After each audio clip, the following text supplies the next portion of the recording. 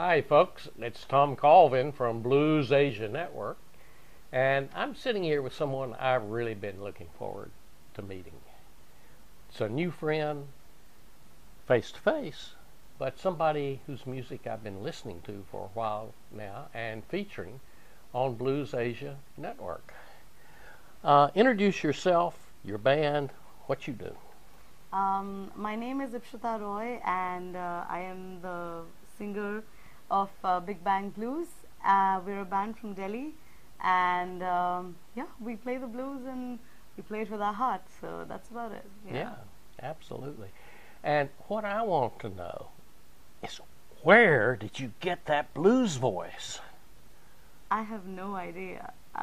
Oh my goodness! I have no idea. Um, all I know is uh, when I was in um, when I was still studying in school, and you know, I um, the first time I think Buddy Guy came to India, uh, he performed uh, a show in Delhi, and um, I don't know what blues was then.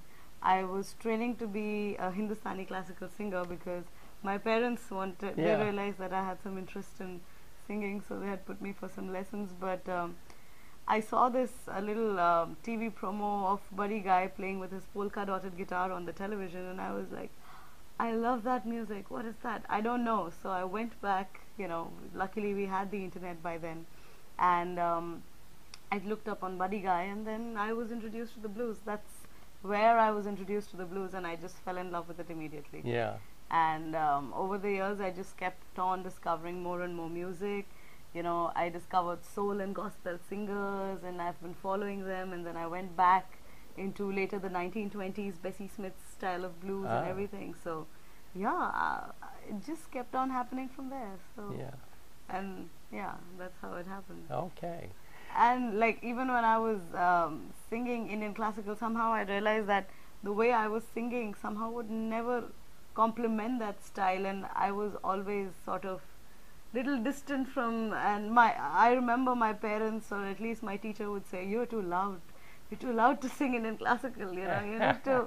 control your voice you're too loud and i was like ah, that's i don't know i don't feel for it so yeah this Yeah. is where i feel this is where i feel the music so Yeah. Well, that's the thing. I mean, here's a singer that really belts it out. I mean, and, and with such energy on stage. Wow.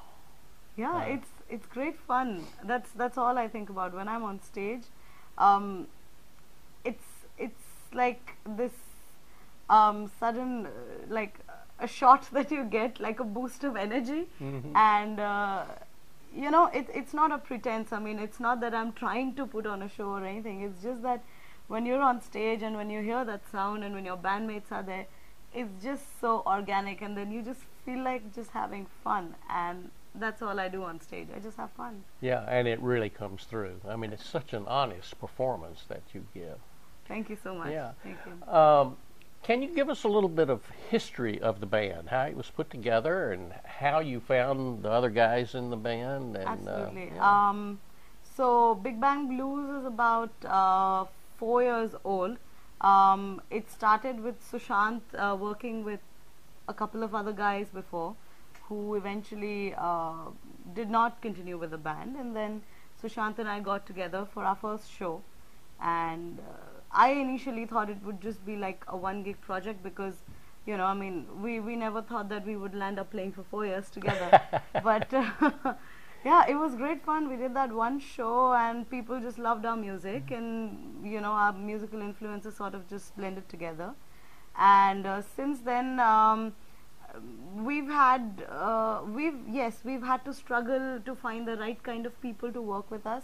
We've worked with a lot of other musicians um, who have joined Big Bang Blues and then left later because of their diff- creative differences or something. But um, we found Kapil and then we found Shivam, and uh, you know, it's just been great having these guys on board, and they just bring so much.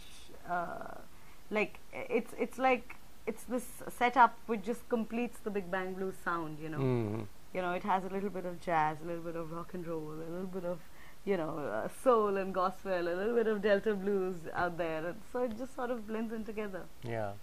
Okay. Well, uh, can you describe for us what the blues scene in Delhi is like? Um, it's slow. It's slow. Um, there is no uh, difference between um, the blues scene in particular or say the rock scene in particular as well.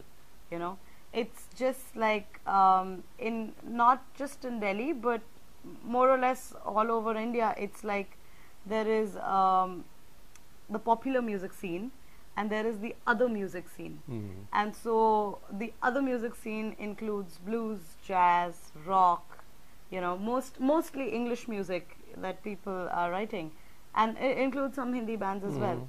But uh, it's not the popular music. It's uh, very urban.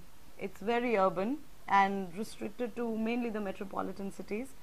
But yes, we have uh, people who love our music Mhm. and who are regular followers of the music and come for all our shows. Yeah. And um, people have been supporting us and loving our music since the time we formed the band. Yeah. And it's just been great for us. So, Okay. despite a little less following, Yeah. it's been good for us. What What are the major venues where you play? Um, so here is this uh, thing in Delhi. Um, there are no particular venues that you'll have for blues or jazz music.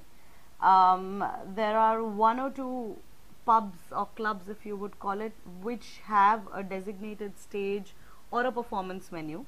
The other places that hold performances of bands and blues bands, jazz bands, whatever, uh, they are sort of like makeshift venues. Mhm. So uh, they hire bands to attract more crowd over the weekends or something, and you know increase their sales. Um, and there are just a few places like there's Blue Frog, there's Attitude Alive, there's Turquoise Cottage, which are designated music venues because they have a designated stage, they have their in-house sound. Mhm. So yeah, but just a few of them. Yeah. But yeah. The Blue Frog is the one I've heard of before, and they have another branch. Uh, where is it in Mumbai? Or It's in Mumbai. in so Mumbai. the original one, uh, I mean the the first one was in Mumbai, and then they sort of replicated the model in Delhi. hmm And one of the things I've discovered, and I don't know if they're still doing it, but uh, Blue Frog sometimes streams their music, so you can a- on the internet you can actually find music that that Yeah. originated in Blue Frog. Yeah, that's there. Uh, so all of the bands that they have played in Blue Frog, so they have a Blue Frog website where you can actually go and read up on the artist page and the artist bios.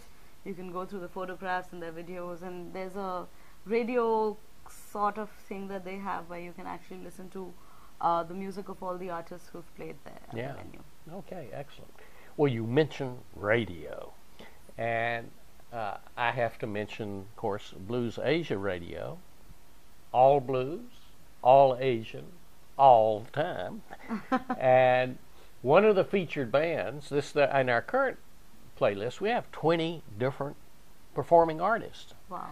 on our current playlist. It changes every week or two, uh, and uh, uh, and we've got over 40 artists I've already identified and collected tracks from, and more are coming in every week. But this, I hope you can see it. It's uh, but that is Big Bang Blues, your album. Uh, Yes. Tell me about this album. It's really nice. Um, well, um, so it took us about four years to come out with that album um, because um, we didn't want to hurry the songwriting process. You know, we are we are not the kind of musicians who will just say, "Oh, I'm going to write a song and I'll just sit and write and put some chords to it and oh, here we have a song." You know, we're Mhm. not that kind of people. Um, all of our songs have been inspired by our personal uh, sort of incidences and everything Ah, okay. and whether it's heartbreak or you know falling in love or you know being you know disrespected or you know just imagining your loved one to be there um, if if you actually go through the lyrics you'll see the kind of emotion emotion that's put there. And um, you know every time something happens you know we feel it and we write it and that's how a song comes out. It's very organic for Yeah. us. And um, the album bigger than blues in fact the title was a little um, you know i mean a lot of people were like bigger than blues you know. Mhm. are you sure you want to keep that title? You know what are you trying to say? Um, but um, what we what we wanted to sort of portray with the title was that um, while we are a blues band, you know, blues blues is our roots, and we love the blues, and it makes us who we are. But we are a little more than that. hmm So we have influences from other styles of music and other genres, which is how exactly Big Bang Blues was also formed. Like, Mhm. you know, just what I explained before, like each of the individual members bring in their different influences. And what we wanted to create was something uh, very, very close to the blues, but Mhm. unique in its own way. We Mm. wanted to have our own sound, and Bigger Than Blues represents that. Okay. Well, this album, you can listen to it on uh, Blues Asia Radio, and when their song is playing, you can actually click on the song title, and it will take you to a site where you can learn more about Big Bang Blues and maybe even track down where to buy a copy. So Absolutely. check it out, folks. Uh, one last thing. Uh, what advice do you have, particularly for women, uh, that might be interested in the blues? There are not enough of you, you know. Yeah. yes. Um, well, yes. Uh, blues has, uh, as a lot of women say, that blues has been a male-dominated sort of, uh, you know, um, genre. But uh, nevertheless, um, I think um, it's it's not about being a man or a woman. It's about being as close to your heart and singing from your heart. So if you feel the blues, you gotta go and sing it. Just express it out to people, and people will connect to you. It doesn't matter whether you're a man or a woman. You just gotta sing it. Yeah, absolutely. it. And what about to young musicians of, you know, either male or female or singer or guitarist or whatever?